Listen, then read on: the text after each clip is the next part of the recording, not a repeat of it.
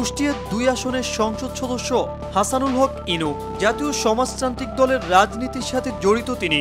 একাদশ জাতীয় সংসদ নির্বাচন সহ মোট তিনবার এমপি নির্বাচিত হয়েছেন। উনিশশো ছেচল্লিশ সালের বারোই নভেম্বর নওগাঁ জেলায় জন্মগ্রহণ করেন হাসানুল হক ইনু। তার বাবা এইচ এম কামরুল হক তৎকালীন কর্ণফুলী পেপার মিলের সাধারণ ব্যবস্থাপক ছিলেন আর মা বেগম হাসনা হেনা হক ছিলেন গৃহিণী।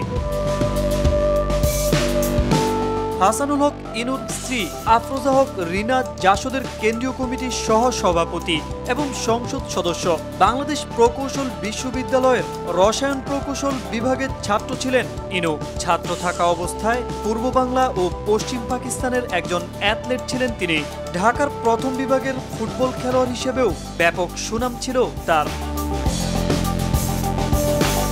উনিশশো ছেষট্টি সালে বঙ্গবন্ধু শেখ মুজিবুর রহমান ঘোষিত ছয় দফাকে স্বাধীনতার এক দফা আন্দোলনে পরিণত করার উদ্যোগে যোগ দেন ইনু। সে সময় বাংলাদেশ ছাত্রলীগের সক্রিয় সদস্য ছিলেন তিনি। উনিশশো উনসত্তর সালে গণ সংগঠনে গুরুত্বপূর্ণ ভূমিকা রাখেন ইনু। পরে তিনি ছাত্রলীগের প্রকৌশল বিশ্ববিদ্যালয় শাখার সাধারণ সম্পাদক মনোনীত হন। উনিশশো উনসত্তর সালে আগারতলা ষড়যন্ত্র মোকদ্দমার শহীদ সার্জন জহুরুল হক স্মরণে উনিশশো সালে স্বাধীন বাংলা নিউক্লিয়াসের উদ্যোগে ছাত্রলীগ আয়োজিত কুচকাওয়াজের নেতৃত্ব দেন হাসানুল হক ইনু তিনি আনুষ্ঠানিকভাবে বাংলাদেশের পতাকা উত্তোলন করেন। পাশাপাশি ছাত্র নেতাদের অভিবাদন জানান। এদিন আনুষ্ঠানিকভাবে একযোগে সারা বাংলাদেশে, স্বাধীন বাংলাদেশের পতাকা উত্তোলন করা হয়। মুক্তিযুদ্ধের সময় হাসানুল হক ইনু ভারতের তান্দুয়ায় বাংলাদেশ লিবারেশন ফ্রন্ট, বিএলএফ বা মুজিব বাহিনী সামরিক প্রশিক্ষণ কেন্দ্রের ক্যাম্প ইনচার্জের দায়িত্ব পালন করেন। তিনি প্রায় দশ হাজার গেরিলা মুক্তিযোদ্ধার প্রশিক্ষণের দায়িত্বে ছিলেন।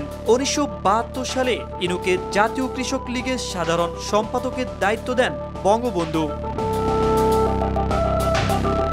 উনিশশো বাহাত্তর সালের একত্রিশ অক্টোবর নবগঠিত রাজনৈতিক দল জাসদে যোগ দেন হাসানুল হক ইনু এরপর উনিশশো তিয়াত্তর সালে জাসদ কেন্দ্রীয় কমিটির সদস্য মনোনীত হন। উনিশশো সাতানব্বই সালে জাসদের সম্পাদক নির্বাচিত হন ইনু দু হাজার দুই সালে কেন্দ্রীয় জাসদের সভাপতি নির্বাচিত হন। নবম, দশম ও সবশেষ একাদশ জাতীয় সংসদ নির্বাচনে চোদ্দ দলের প্রার্থী হিসেবে কুষ্টিয়ার দুই আসন থেকে এমপি নির্বাচিত হন ইনু। দু হাজার বারো সালের একত্রিশ সেপ্টেম্বর তথ্যমন্ত্রীর দায়িত্ব পান তিনি। দু হাজার উনিশ সালের সাত জানুয়ারি পর্যন্ত এই পদে দায়িত্ব পালন করেন ইনু।